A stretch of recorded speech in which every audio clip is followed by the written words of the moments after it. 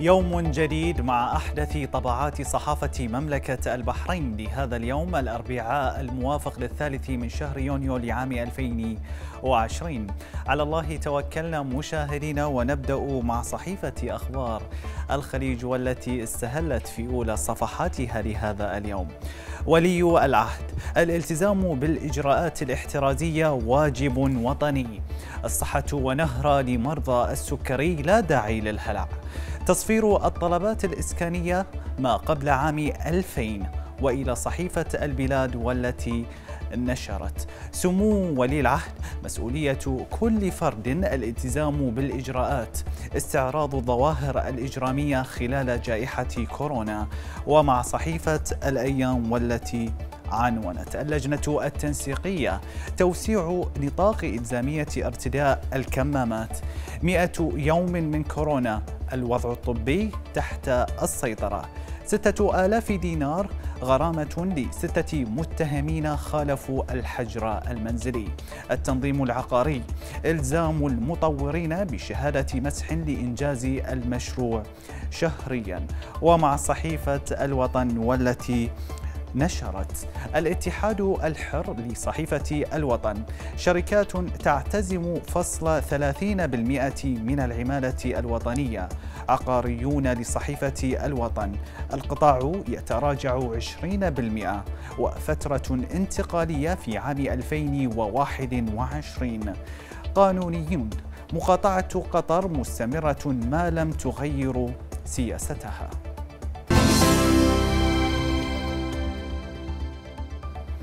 نشرت صحيفة الأيام أن اللجنة التنسيقية برئاسة صاحب السمو الملكي الأمير سلمان بن حمد آل خليفة ولي العهد نائب القائد الأعلى النائب الأول لرئيس مجلس الوزراء قررت توسيع نطاق إلزامية ارتداء الكمامات حيث تم تكليف الفريق الوطني الطبي بوضع الاشتراطات والإجراءات التنفيذية اللازمة.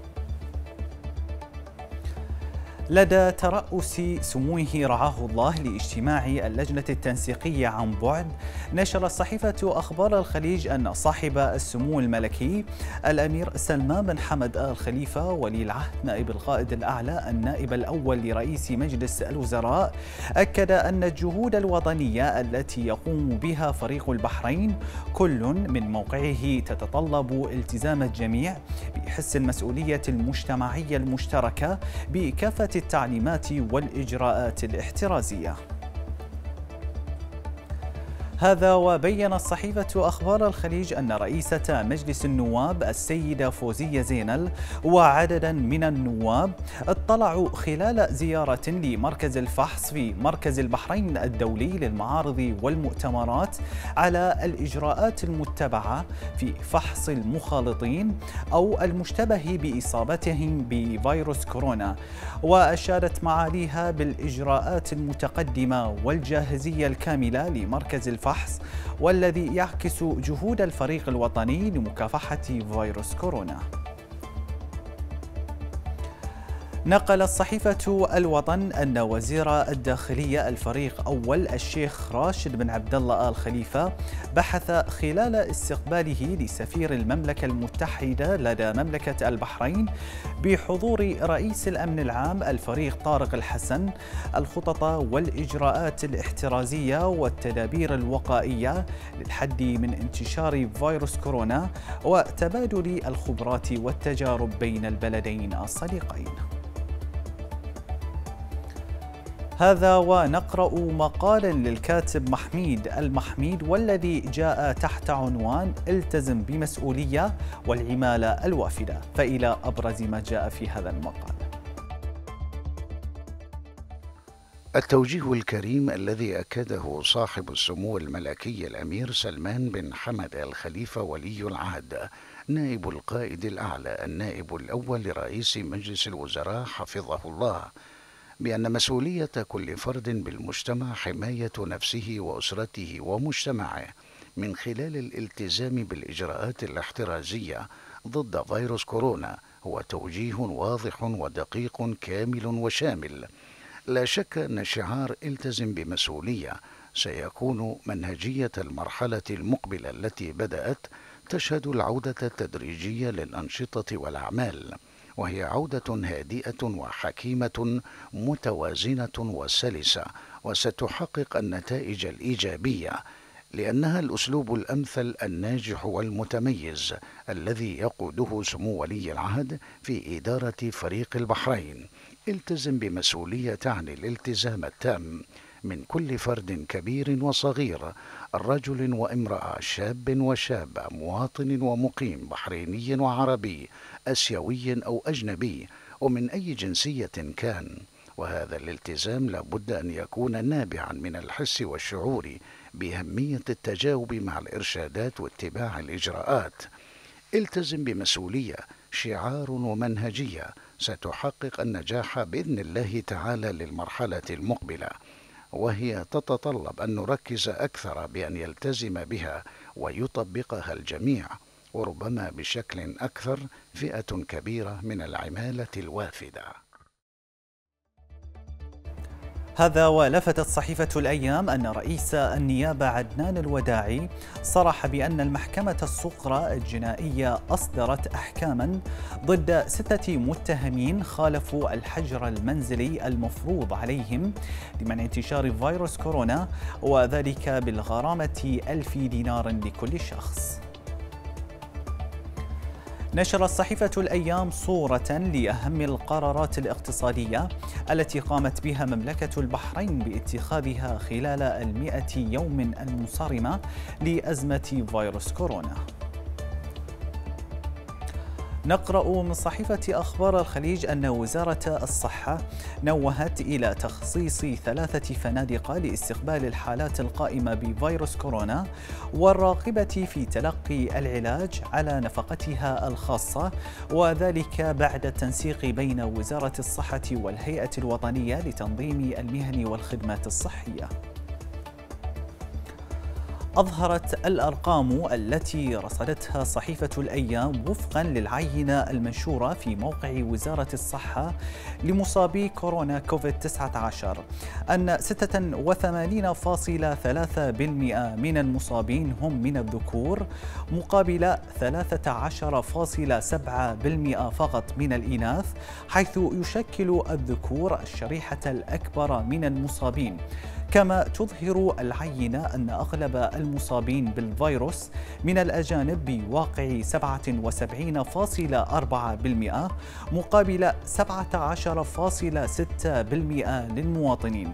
وعلى صعيد الأعمار تظهر الأرقام أن الشريحة الأكبر من المصابين هم من الشباب ذوي الأعمار التي تتراوح بين العشرين وحتى الأربعين عاماً.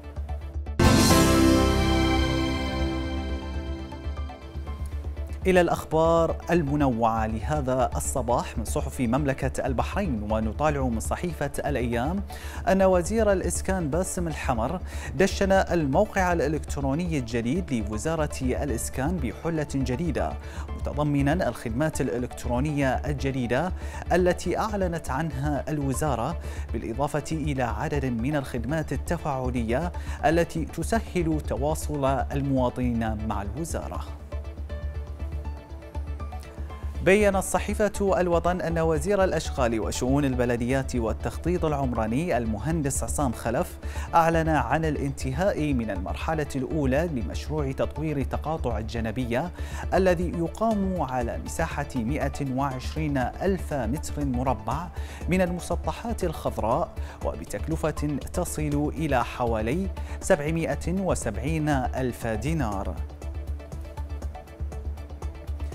كشف مصدر لصحيفة أخبار الخليج أن وزارة الإسكان قد صفرت الطلبات الإسكانية ما قبل عام 2000 وأن عدد الطلبات الإسكانية للمواطنين التي لم يتم تلبيتها منذ عام 2000 وحتى عام 2008 يصل إلى 19589 طلبا إسكانيا. إلى ذلك لفتت صحيفة الأيام أن مؤسسة التنظيم العقاري ألزمت المطورين العقاريين بتسليم شهادة مسح هندسي بحالة إنجاز المشروع العقاري بشكل شهري وذلك ضمن الإجراءات الجديدة المتبعة لمشاريع البيع على الخريطة وتستهدف الإجراءات الجديدة حماية المشترين والمطورين بمشاريع البيع على الخريطة. ثلاثة أعوام من السكينة عنوان مقال لفواز العبد الله قامت بنشره صحيفة الوطن. فإلى المقال. ثلاثة أعوام انقضت كانت عبارة عن فترة جد واجتهاد وبناء للدول التي ضاقت ذرعا بتصرفات الإمارة العاقة وقررت المقاطعة كما يقاطع الأب ابنه بغرض التربية ووضع حد للطيش والعقوق والجحود. ثلاثة أعوام تنفست العديد من الدول خلالها الصعداء وخف أنين الأمهات الثكالى اللاتي كن يبكين أبنائهن بسبب توغل ميليشيات قطر وأموالها. ثلاثة أعوام كانت كفيلة بمعرفة أسباب تلك المقاطعة عبر نتائجها التي أسفرت عن وقف سفك الدماء والحد من تصرفات العصبة الحاكمة التي عاثت في الأرض فسادا وغدرا وخيانة ما حدث في تلك الدولة منذ التسعينات اعتبرته الدول الخليجية والعربية شأنا داخليا. واحتضنت الأمير المغدور تقديرا لسنه ومكانته في الوقت الذي حتى أسرته أصدرت مذكرات الخزي والعار مطالبة باعتقاله. ثلاث سنوات مضت ونحن بخير بعيدا عن تلك الفئة الإرهابية على أمل أن تأتي بعدها سنوات ثلاث تزيل عن كاهل الشعب القطري تلك الزمرة الإرهابية التي نشرت الخراب والدمار عربيا ودوليا. هذا ونشرت صحيفة أخبار الخليج أن وزارة الصحة والهيئة الوطنية لتنظيم المهن والخدمات الصحية قالتا في بيان مشترك بأنه لا داعي للقلق حول بعض المستحضرات الدوائية لعلاج مرضى السكري منوهة بأنه لا يوجد ما يثير القلق من استمرار العلاج لفترة بسيطة إذ ارتأى الطبيب ذلك حتى تظهر نتائج التحاليل في الأيام القليلة القادمة. نشرت صحيفة الوطن أن الإدارة العامة للمرور حددت الفترة الصباحية من السادسة صباحا وحتى الثانية ظهرا من يوم الأحد وحتى يوم الخميس لتقديم خدمة الفحص الفني للمركبات داعية الجمهور إلى الاستفادة من الخدمة قبل ثلاثة أشهر من موعد تسجيل المركبة لتفادي انتهاء موعد التسجيل. نطالع من صحيفة البلاد أن الباحث الفلكي محمد العصفور أفاد بأن سماء مملكة البحرين تشهد ظاهرة خسوف شبه الظل للمرة الثانية هذا العام وذلك في مساء يوم الجمعة الموافق الخامس من شهر يونيو الجاري. وإلى فن الكاريكاتير من صحيفة البلاد.